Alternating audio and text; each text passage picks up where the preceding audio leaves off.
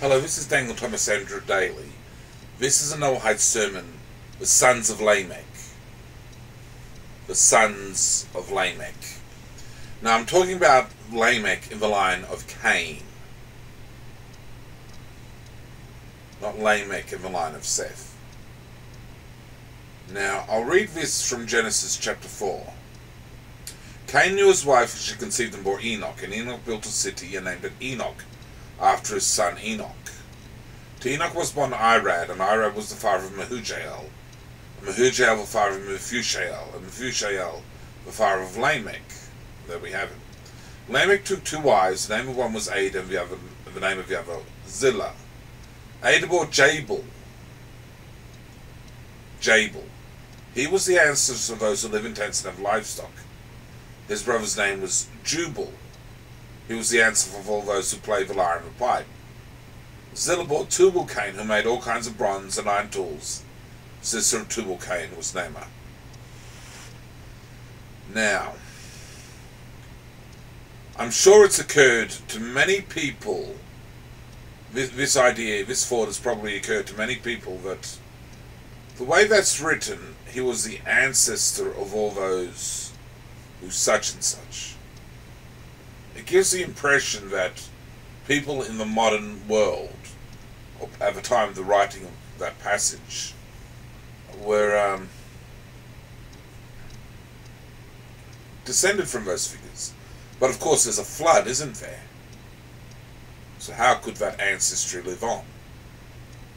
Cain's line died out. Now, we don't really know if Jabal and Jubal and Tubal Cain's seed went through the wives of Noah and his sons, or whether they, they had matrilineal interrelationships with the Noahite seed, the Adamite seed. We don't really know that because we have no ancestral records. But I'd like to point something out on right here.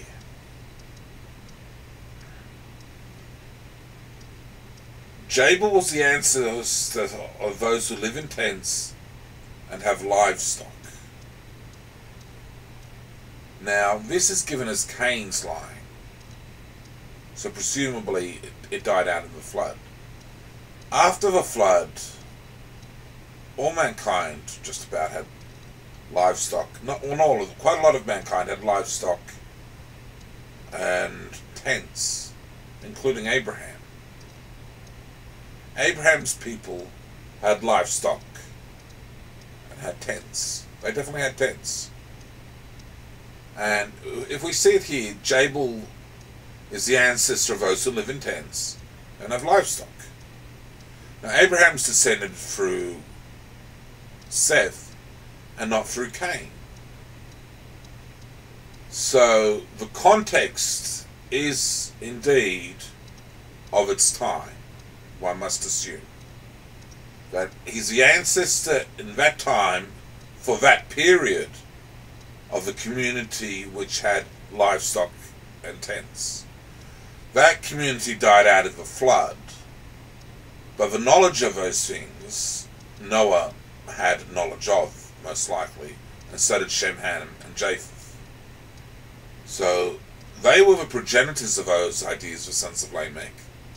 But the knowledge of the culture of mankind survived through Noah and his sons and the wives and continued to pass on. So in a sense, anyway, which probably remains true, Jabal remains the ancestor or the father of those who live in tents and have livestock, and Jubal remains the ancestor or the father, the, the figure of fame of those who play the lyre and the harp, and pipe, and Tubal Cain remains the father of the figure from the giant in the field of those who make all kinds of bronze and iron tools. So uh, they did indeed die out in the flood, but their legacy lived on. Their bloodline did not live on, but their legacy lived on. Sons of Lamech.